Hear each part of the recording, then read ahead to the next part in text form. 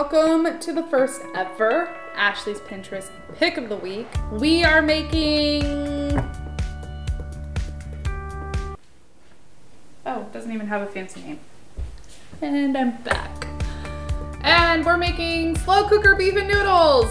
Such a complicated title. Basically self-explanatory. We're gonna slow cooker this sucker and it's gonna be delicious, I'm hoping. Easiest thing ever. I love cooking things in the crock pot. So this is right up my alley. I don't have the luxury of time, so I'm gonna cook mine on high and probably do four, four and a half hours. That way baby chick can have it with us as well. What we're gonna need today is stew meat, it calls for one and a half pounds, but I am using a little over a pound just because it's me and James and Baby Chick.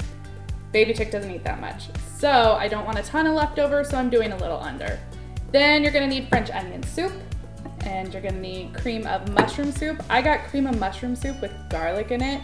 And if anybody knows me, they know I love garlic. So this was pretty exciting find for me. It usually calls for cream of celery soup, but James and I are not big cream of celery people. So I'm switching it up and hoping for the best. And then you're gonna need noodles. Because let's just be honest, the name of it is slow cooker beef and noodles. So I normally like wheat noodles. However, they were out. So I got Smart Taste two and a half times the fiber. And who doesn't like a little extra fiber in their diet? Because it keeps you regular, people. I'm just saying. Anyway, we're gonna get started, so let's go. Ew. Here's the bad part about cooking with Ashley. She doesn't like to touch meat. It's disgusting. Chicken, beef. That's what she said. It's just gross. Flopping it in. And then look out, because it's gotta go in the garbage. Now I have to wash my hands, because I'm a germaphobe. To do this. Yep, I'm dumping. Mmm. See the.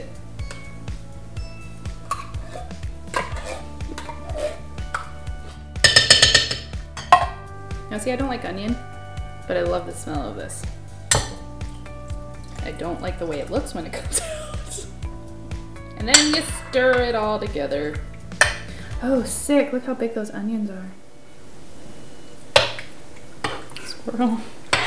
Ours is gonna be a little bit soupier because I still added the same amount of liquids and not as much beef, but I like a little it a little bit soupier just because then you can pour, you don't feel bad about using all the liquids on the side to pour it over your noodles. And let's just be honest, who likes dry noodles?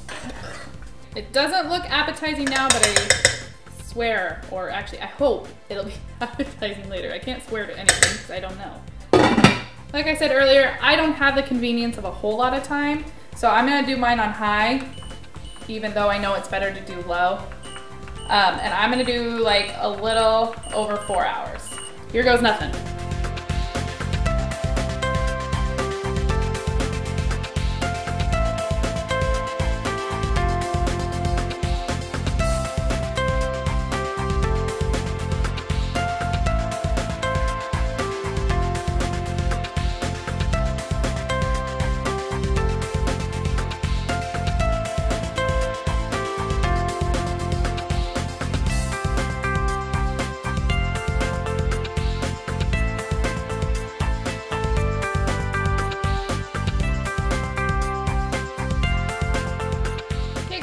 So it is basically done. It's been cooking for not quite four and a half hours and it smells delicious. It actually, I had put my finger in it and tasted it.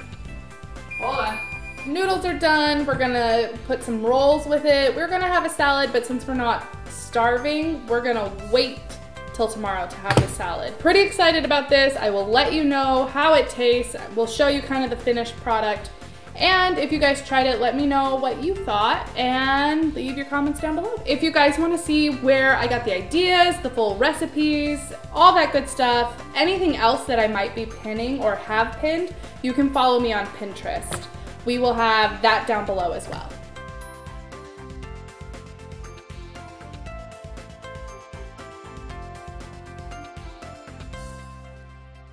Oh yeah, look at that. Look at this thing, honey. That is falling apart and tender. Really? What? Okay. Remember that. What? I was filming you. It's really good.